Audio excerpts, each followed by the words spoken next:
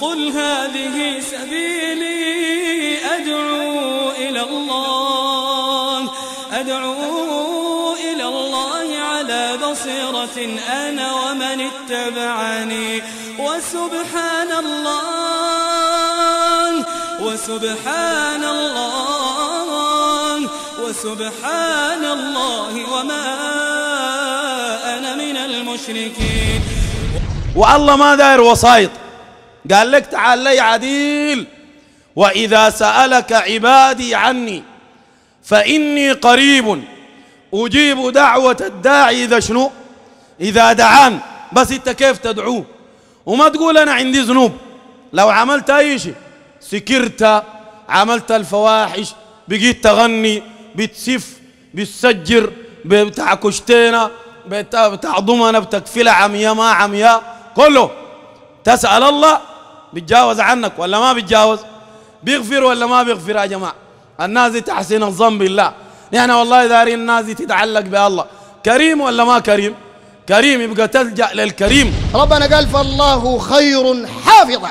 ربنا قال إن كل نفس لما عليها حافظ. بعد يجي طالع من بطن أمه الله حافظه لسه. أول ما يكبر يقول ودوني للفكي لبسوني حجاب. ليه؟ عشان يحفظني؟ طيب الحفظ الفكي ذات جوا بطن أمه منو أول حاجة الإنسان يصلح العقيدة بتاعته. عقيدته تكون في الله. ما يدعو غير ربنا سبحانه وتعالى. ما يجيب له حجاب ولا حراسة من طلقة ولا من سكين ولا من عكاز ولا من غيره. تحفظ ربنا سبحانه وتعالى. تحافظ على الصلوات الخمسة. تحافظ على الفرائض. تصوم رمضان إلى آخر. قال احفظ الله يحفظك. ودائما يا جماعة صاحب الحق ما يدوس عقيدته عقيدته واضحة قدام الناس. الله براو لا معه شيخ لا فقير لا فكي لا ولي لا صالح لا نبي. الله براو. دي بتندسها يا جماعة؟ ما بتندسها كله باطل. أصله ما في مزولة على حق. عشان ما تضيع زمنك. كله على باطل. مش الكلام ده واضح؟ كله على باطل. ما على حق الناس. ويهم بيقوا شغلتهم شغلة زي شغلة النساوين.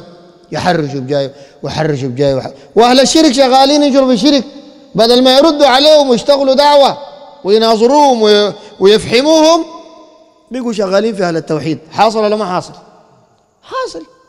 فده يدري إنه ناس ناس فشل يا أخي. زول هو منتظر كده لحد ما يجيك كيس الصايم رمضان الجاي يقول لك أنا تبع الجماعة تبع الرئيس العام. أنت تبع الكيس العام ما الرئيس العام. قالوا وهم فيها يعني في جهنم يختصمون تالله. وفي الآخرة بيحلفوا بألله براو في الدنيا يحلف بأولاده وبالنعمة وبغير ذلك. وقد قال النبي صلى الله عليه وسلم وسمع عمر بن الخطاب يحلف بأبيه قال إن الله ينهاكم أن تحلفوا بآبائكم. من كان حالفا فليحلف بالله أو ليصمت. إن إبراهيم كان أمة قانتا لله حنيفا ولم يكن من المشركين. ربنا قال في سورة البقرة ما كان إبراهيم يهوديا ولا نصرانيا ولكن كان حنيفا مسلما ولم يكن من المشركين. دي أعلى أنواع التزكية وأعلى أنواع المدح إنه الإنسان ما يكون من المشركين يموت على التوحيد وهو من الموحدين.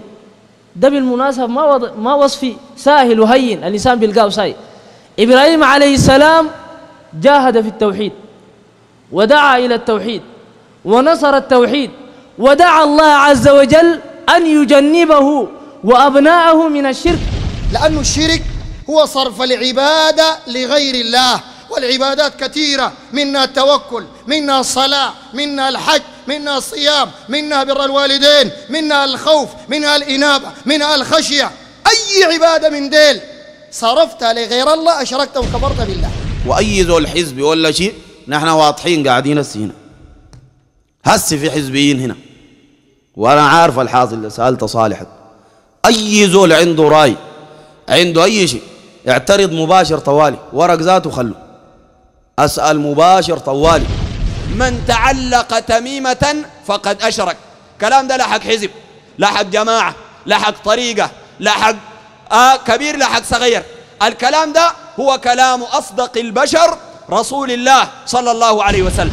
لكن الآن دعاة الشرك ممكن واحد يذوق مقلة في أمم من الناس. يا أخي واحد يقول لك والله أنا عندي مسمار ده بعالج به الناس. مسمار يخط في قانون يجي عنده سكر في صلعته.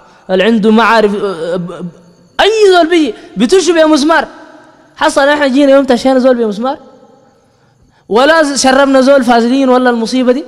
دقوا مقالب في الناس بعد دقوا يقول لك كويسين. عشان كده شوف دعاة التوحيد ما آذوا بشر وإنما كلموهم بما يريده الله عز وجل من إفراد عبادة لله سبحانه وتعالى. فده شغل شياطين.